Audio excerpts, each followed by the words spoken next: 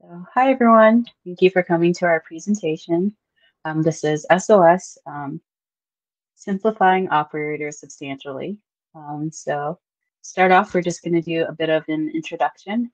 My name is Manna. I'm an associate software engineer um, at um, at Red Hat. Um, I work on the ecosystem experience engineering team, specifically on the operators enablement team. And so before software engineering, um, I was an English teacher in South, South Korea. Um, and I graduated with my English degree um, at University of Minnesota Crookston.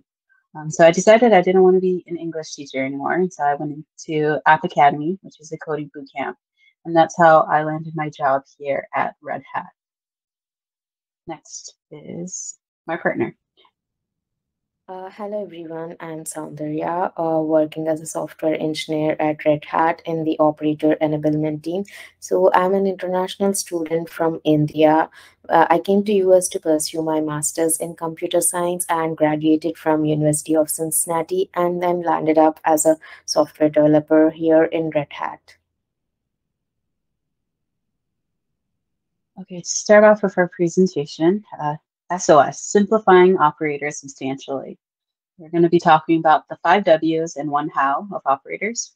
And so to kind of touch base on how we came with this topic, um, this a couple months ago we went to Cloud Native Rejekts and we did a presentation on an operator we, we were creating called the L5 operator.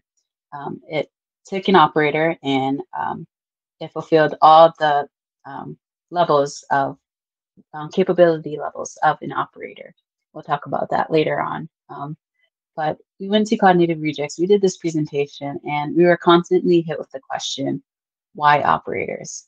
And so um, to really understand why operators, we have to touch base on what operators are.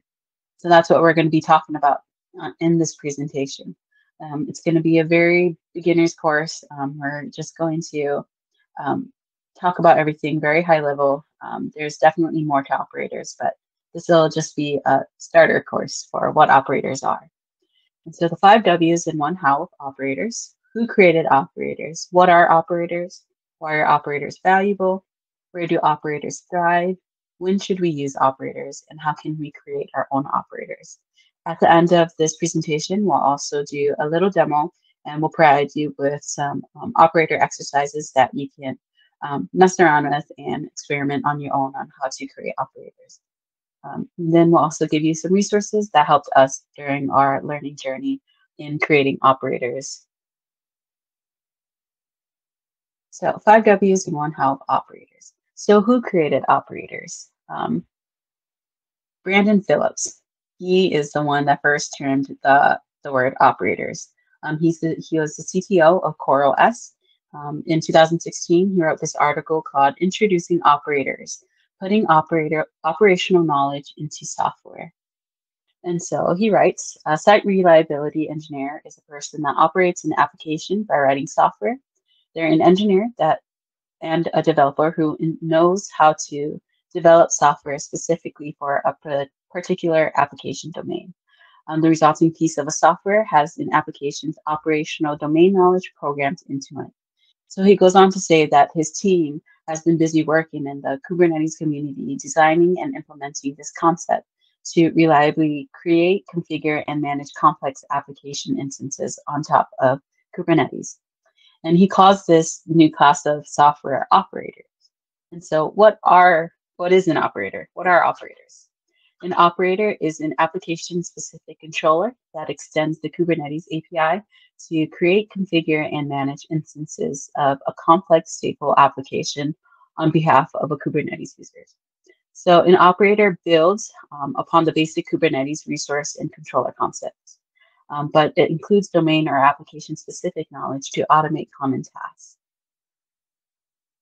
So an operator contains three um, big components, um, three major components, which is a controller, resource, and knowledge. These are the three main things that make up an operator.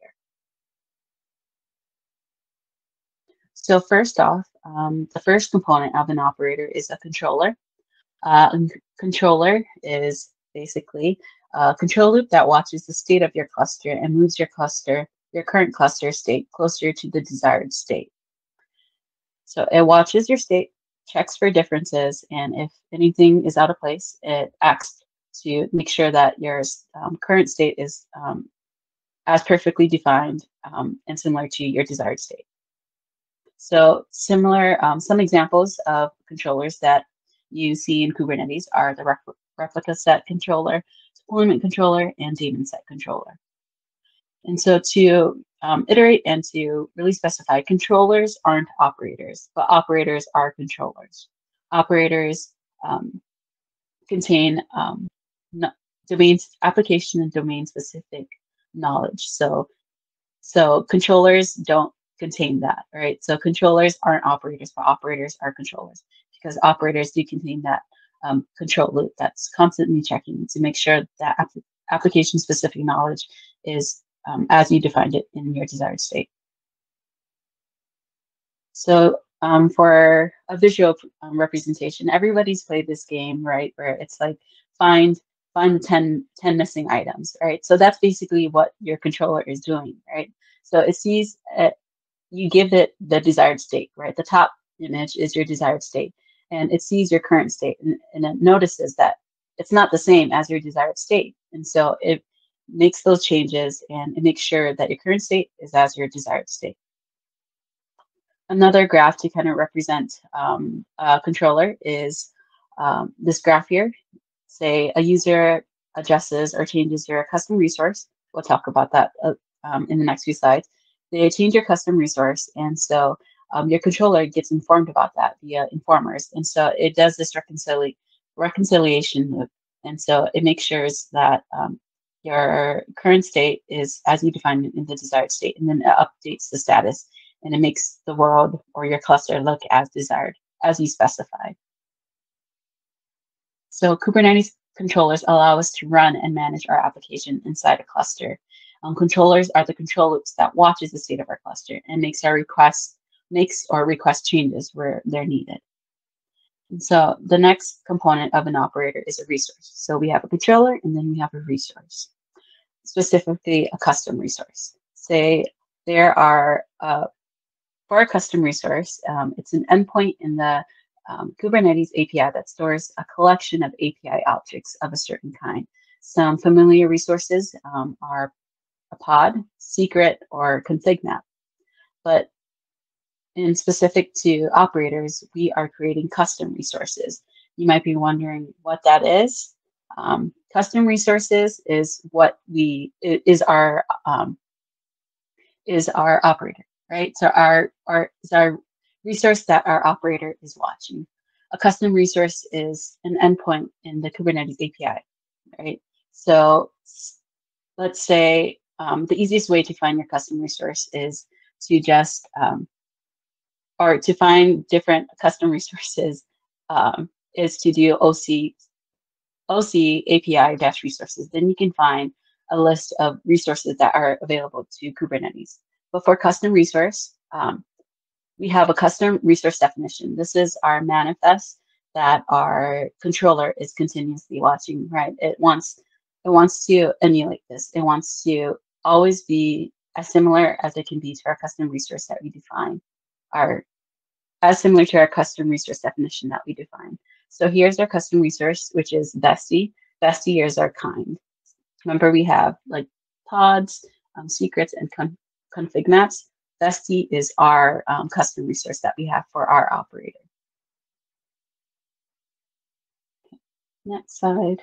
So for custom resource, um, we have quite a few different things um, that you need for your API here. Uh, the REST API is the fundamental fabric of Kubernetes, and all operations and communications between components and external user commands are REST API calls that the API server handles. Uh, the API server exposes an HTTP um, API that lets end users, different um, end users, different parts of your cluster, and external components communicate with one another. So this is how um, all the components of your cluster communicate, right, with the control plane and the API server. And so for um, your custom resource, you can have um, group you can have a group version, kind, and different specs.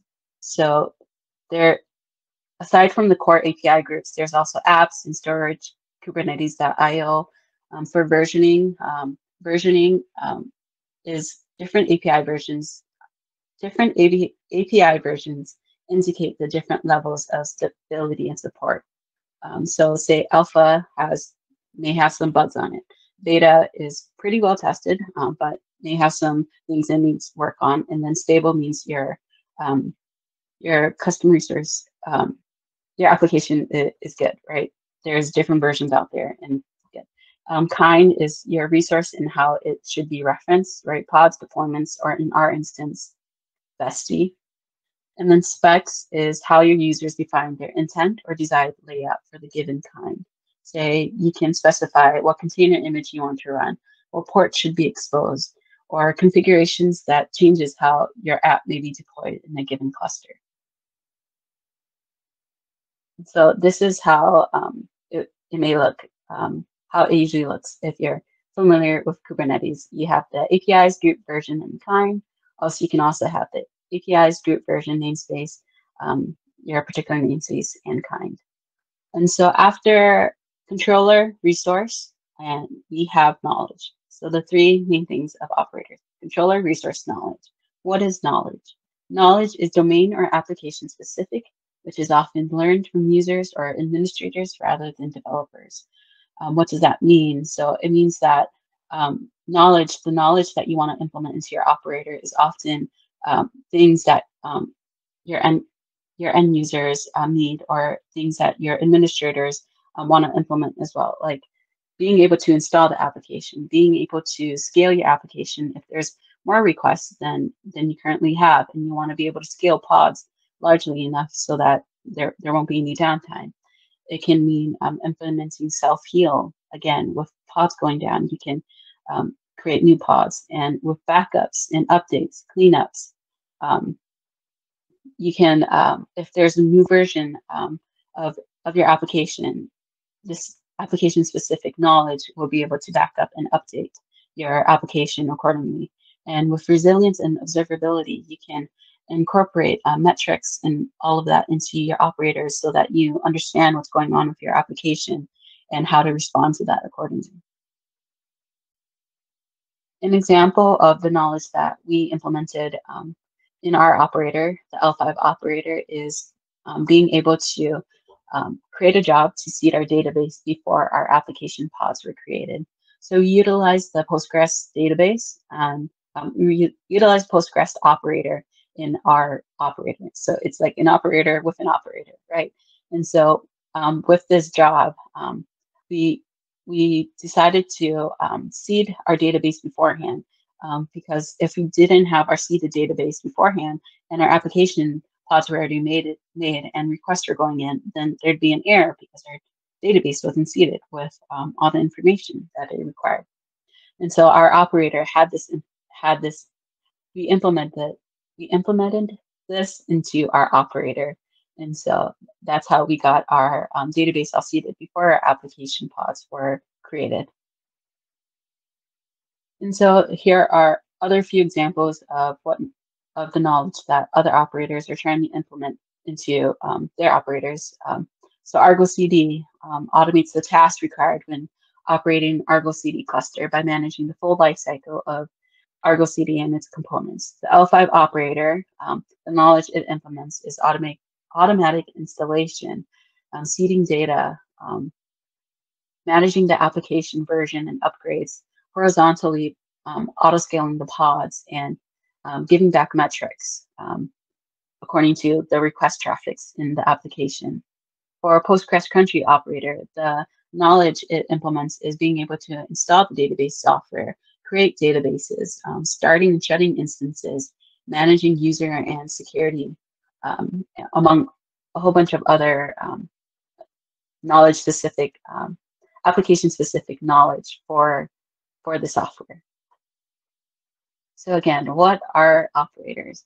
Operators contain three big things, three major things, um, controller, resource, and knowledge. And again, it's basically a robot with a post-it note or the image that it has. It has the controller and it has the resource, and it's just trying to make sure that um, that your application is as you you want it to be, and then it has other jobs on top of it. Another example is say you're the owner of the shop, right? You're the owner of the shop, and you have a store store manager, right? You can give a list of tasks to your store manager, and say they can manage money, they can take customer orders, they can do they can buy products and do shipping and all of that or else they can just manage everything else and you can manage all the money and stuff like that. So an operator is like your store manager. You give it a list of the things that you want it to manage and it will manage it for you. And those are the people going to your store your request right? So they manage all of that according to what you give it in in the list. So why are operators valuable? Operators are valuable because they build an ecosystem of software that can be easy, safe, and reliable to use and operate as a cloud service.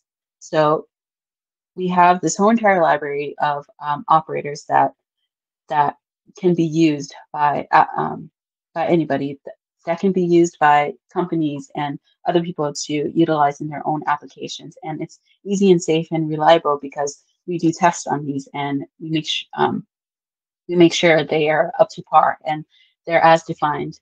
Um, their level is as we define it to be. Um, why operators are also um, valuable is because they're low touch, remotely managed, and they have one click updates. So again, on this, um, on Operator Hub or on um, Red Hat OpenShift container platform, you can you can download these, um, install these operators onto your cluster um, very quickly with just one touch, with one click, and you can utilize them in your application. Also, operators are valuable because it's software that works for Kubernetes works. Um, so wherever Kubernetes work, operators work because OpenShift operators are any op Kubernetes operators are built. It's built upon and extended upon um, Kubernetes existing Kubernetes concepts. So when should we use operators? Um, operators are are definitely very useful, um, but it's also not for everyone. So these are some guiding questions that can help you determine whether your application needs an operator, whether it can be um, useful for your application. So is your application a stateful application? Does your application contain application-specific tasks that could benefit from um, managed automation that Kubernetes doesn't fulfill? right? And would you like your application to be more scalable, repeatable, and standardized? So stateful applications, um, it includes persistent storage and other elements um, external to application, which require ex extra work to manage and maintain. So operators can help ease the, the, um, the tasks for that. And being able to um, create an application that's scalable, repeatable, and standardized, operators can help with that because it's you can build consistent responses with, with um, events that occur in your application. So where are operators currently being used? Um, operators are currently being used all over the place. AWS, PostgreSQL, Dell, GitLab, IBM, Prometheus, Grafana. There's a whole variety of operators that are being used and are available um, on Operator Hub. We'll talk more about that in, in a bit here but there's a whole library of operators that you can utilize and use to even create your own operator. Like the L5 operator, use the PostgreSQL operator for our database um, to create our L5 operator. And it makes creating operators easier, but then it also, you help the community by building more operators, by making your job easier. And so next slide, um, how can we create our own operators? Um, I'm gonna hand it off to Soundharya as she talks more about that and while we get into the more hands-on stuff. So far, uh, we have seen why, what, and where do we use operators, why are they valuable. So we have covered all the W's of the of our presentation. Now I'll walk you all through the one hedge, that is how can we create our own operators. The tools make it very much easier to develop, uh, to create or develop your operator from scratch. So the tools are nothing but the operator framework. The operator framework has three components or the three parts we can say. One is operator SDK, which includes building, testing, and iterating your operator. And the next one is Operator Lifecycle Manager, which involves the task like installing, managing, and upgrading the operator once you have built using Operator SDK uh, tools. And the last uh, component is the operator hub.io. Once your operator is ready, uh, the next step that you would be doing is publishing and sharing across uh, other Kubernetes developer or users. So this acts as a repository where you can publish your operator. So let us see in depth about each component here. Let us uh, talk about the operator SDK. So when we are saying uh, the operator SDK tools make it easier, so why do we uh, say that? Because it provides uh, many high-level API and abstractions uh, which help in writing the logic more intuitively, and it provides various tools and uh, libraries for scaffolding your projects, which generates uh, some uh, default files that are required uh, to run your operator and publish them in the operator hub.io. And it also provides some extensions to cover common operator uh, use cases. So the installation part is if uh, it can be just in, uh, installed with a single command to install operator SDK if you're using a Mac, or it can be done uh, from the GitHub uh, resource that is available. You can just clone the repository and do make install and uh, you would have your operator SDK running on your system. And uh,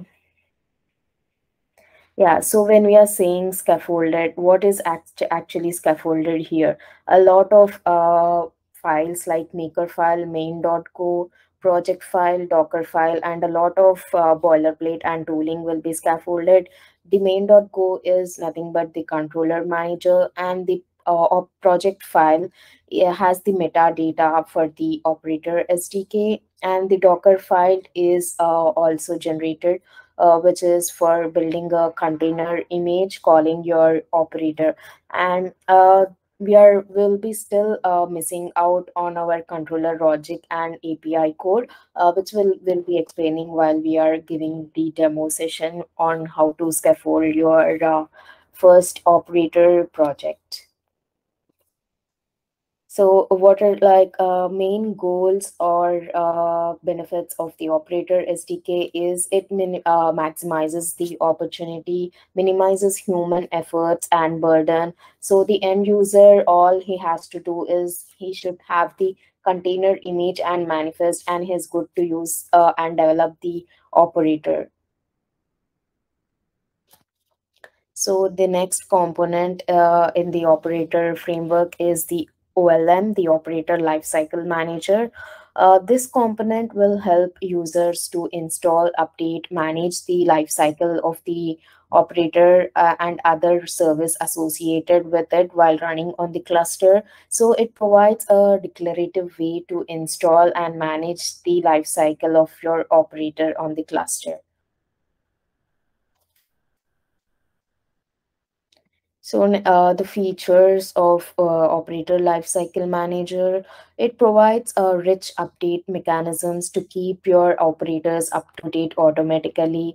Uh, with the OLM kind of formatting, uh, packaging format, uh, operators can express uh, dependencies on the platform and uh, on other operators as well. And uh, this framework will make will make the operator and their services available for the cluster uh, users to select and install, and it will also prevent conflicting operators owning the same API being installed uh, and ensuring the cluster stability, which we are uh, cluster stability. And then the declarative UI controls by which uh, it enables the operator to behave like managed services providers uh, through the API they expose. So, so far, these are the features and benefits of OLM. Next, let us see the architecture of OLM. So OLM mainly has two components. Uh, one is OLM operator and the catalog operator. By default, the operator lifecycle manager will run in the OpenShift container platform, which aids the cluster administrator in installing, upgrading, and granting access to the operators running on their cluster. So let us see uh, in detail about uh, operator group and catalog operator. So the main function of the op uh, OLM operator is in, uh, responsible for installing uh, applications defined by cluster service version, which is CSV. And uh, once the uh, required resources are specified in the CSV, the job of the cluster operator will be done. this so after this, the OLM is not connected with the creation of underlying resources. So if this is not done manually, the catalog operator, which is the second component, uh, can help providing a resolution for these needs. Uh, so next one is the catalog operator. Uh, so once the OLM operator uh, will do the install part, the catalog operator will uh, take up the monitoring of uh, subscription and catalog source and the catalog themselves. Mm, so whenever uh, this catalog operator finds a change in the subscription or operator group or install plan, it will generate a new one and make sure that it is updated automatically. Um, yeah, so this is the basic uh, architecture of OLM. So when we uh, talk about the workflow, uh, it can be discussed in three parts. One is CSV, catalog source, and subscription. So CSV uh, can be defined as the main entry point for packaging an operator for OLM. Uh, it is the cluster service version, which is a YAML manifest, manifest created from operator uh, metadata that will assist the uh, OLM in running the operator on a cluster. So this CSV will mainly have the information about logo, description, version, and any technical uh, information related to the to that operator will be mentioned in the CSV. So if we uh, see the components of CSV, we have the metadata, install strategy, and the CRDs. So here uh, metadata will have the application metadata, which includes name, description, version, any related links, labels, and icon for your operator for which the base code will be included in this file under the metadata. And next, the install strategy will be having the type, which is the deployment, and it has the set of service accounts and required permissions mentioned in here and other set of deployments. The last one, CRDs, uh, it will have the uh, information related to the uh, namespaces and uh, all the list of uh, resources that the that the operator will be interacting with. And it also has the descriptor section, which in, which will include details about uh, CRD specifications and status field to provide semantic in information. And next, uh, the components uh, at an onset here will be catalog source, subscription, install plan, and operator group. So we have seen uh, what what is the catalog source earlier, and so again it is it is nothing but an operator index which will represent a store of uh, metadata that OLM can query to discover and install operators and their dependencies. And subscriptions are nothing but an intention to install an operator, which will describe the channel of an operator package to subscribe to and whether to perform updates automatically and or manually. All these details will be included in the subscription. It also defines the name and namespace of the operator. And next, the install plan. Uh, this will uh, define a set of resources to be created in order to install or upgrade a specific version of your uh, cluster service version, which is uh, defined by a CSV. And then, uh, so our OLM will support, is designed in such a way that it will support all the name, uh, namespace modes with like single uh, single namespace, all namespace, multi namespace, or own namespace. And next comes the last component, which is operator group, which will provide a multi-tenant configuration to OLM installed operators. Uh, it, it is said to be a member of operator group. An operator is said to be a member of operator group if its CSV will exist in the same namespace as that of an operator group. So yeah, this is about the operator lifecycle management. And next, the last, uh, um, how do you deploy using OLM? So here are the quick commands that you would be using to deploy your uh, operator using OLM once you have uh, developed, built, and test using your operator SDK tools. And the last component of the operator framework is operator hub uh, which is nothing but a web interface that uh, the cluster administrators would be using to discover and install or, uh, operators to automate their deployment and maintenance of platform services and workloads. So this operator uh, hub will uh, is nothing but a repository or a place where you can file all the operators that are uh, developed and published there. The, you can use these operators in your application, which will automate your functionalities or tasks that you would like to incorporate in your project. So uh, the operator hub is designed to address the needs of both Kubernetes developers as well as users. So when I say it is useful for the Kubernetes developers, it is useful in such a way that it provides a common registry where they can publish their operators alongside with the description, relevant details like version, image, code, repository, etc. And they can also update already published operators to new versions when they are released. So not only that they can publish their operators, they can also submit the uh, uh, updated version on the operators which are already existing there and for the users uh, it helps uh, it helps in uh, discovering and downloading operators from a central location that has content uh, content which has been screened for the previous mentioned criteria and scanned for known vulnerabilities.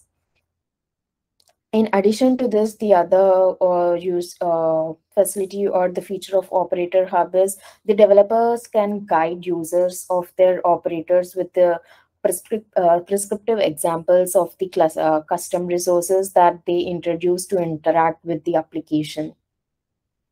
So one such example or the other instance similar to the operator hub is Red Hat OpenShift container problem, which uh, a platform, which is a private one, uh, which serves as a platform as a service for enterprise that runs OpenShift on public cloud or uh, on-premise uh, infrastructure it is a Kubernetes based platform and it comes with a streamlined automatic install feature. So with a single click, users or developers can install the operators and use them in their application.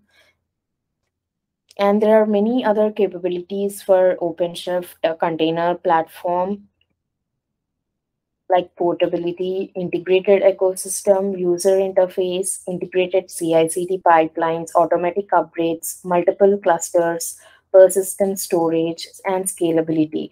Uh, let us see in brief, like what does these uh, capabilities mean?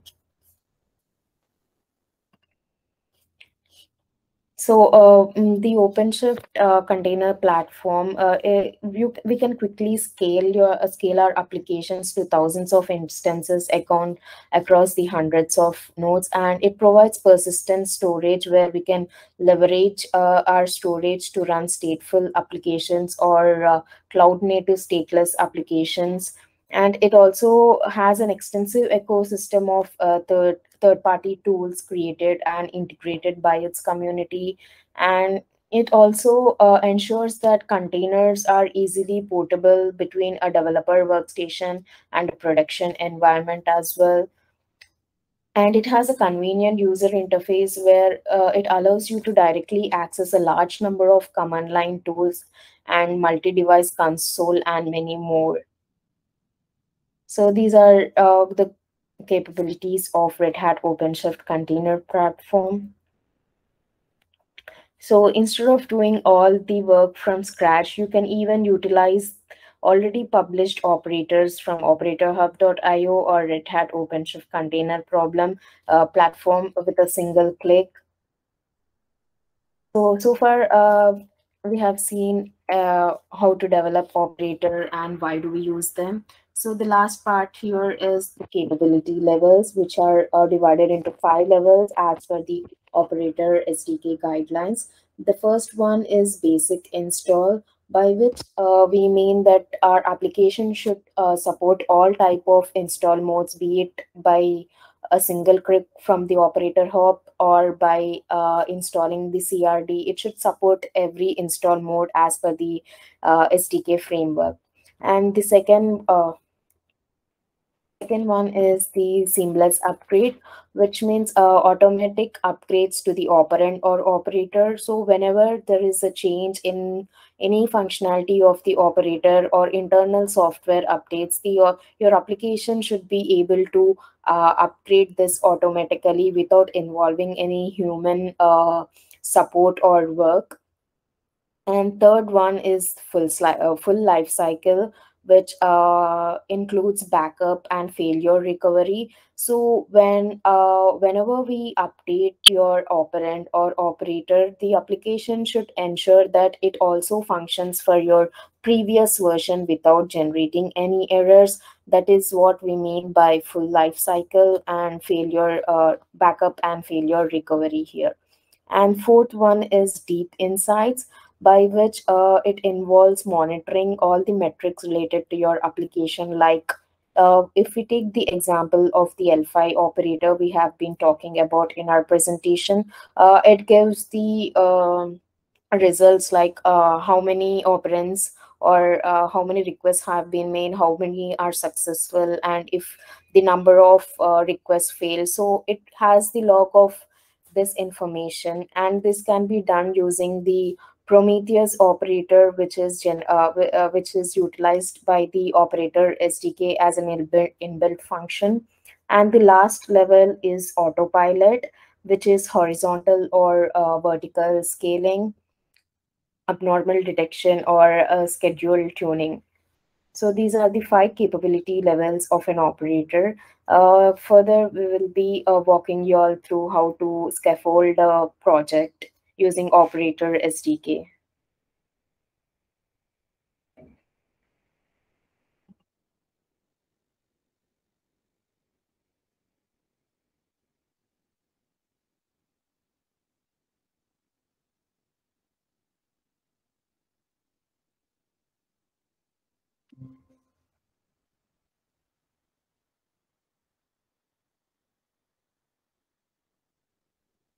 Yeah, so uh, one uh, initially we'll be creating a project in our uh, home directory.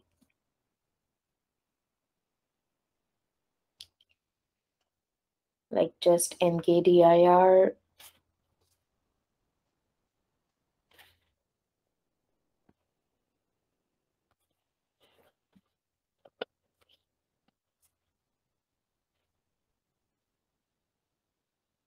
and then we'll be uh, uh, doing cd to into that path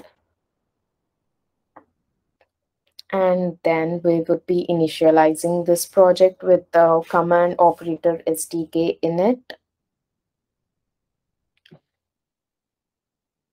So yeah, this will be generating a go.mod file to be used with our Go modules. And we will be mentioning the repo path here so that if you're creating the project outside, outside the Go path, it is required that you make sure to mention this here since uh, it will require a value, a valid module path. So yeah, once uh, you initialize your repository, uh, the next step would be uh, creating an API, an API for it.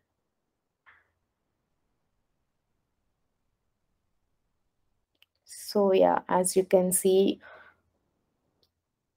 writing scaffold for you to edit. So this basic skeleton of the project is generated by uh, giving us all the files that are required for our project. And when you do a tree command you can see a quick skeleton of your project in the command line.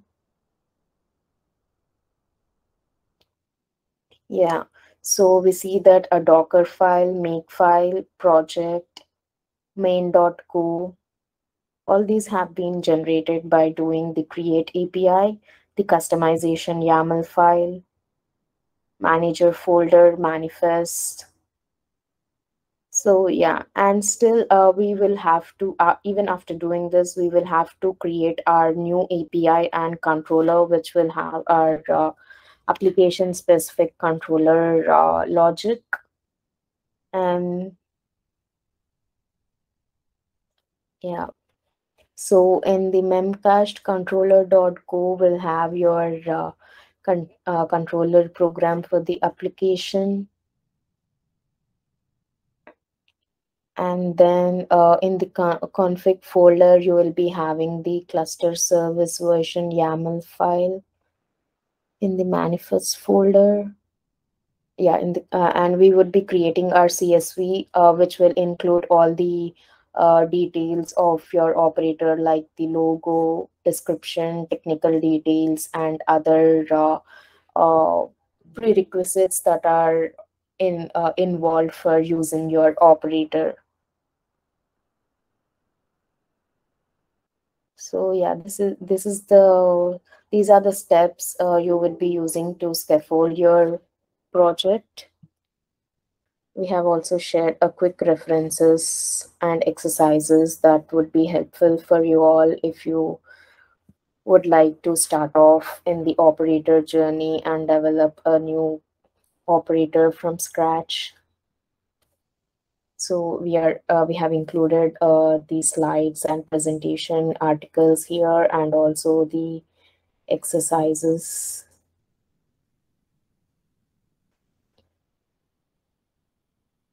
and we can you can also find the uh, link to the repository which uh, which has all the branches with phi levels separated for the L5 operator. Okay, thank you. Thank you for attending your presentation, uh, Simplifying Operators Substantially. Um, if you guys have any questions, um, feel free to put it in the chat later or contact us. Um, um, we'll be happy to answer your questions. Thank you. Thank you all.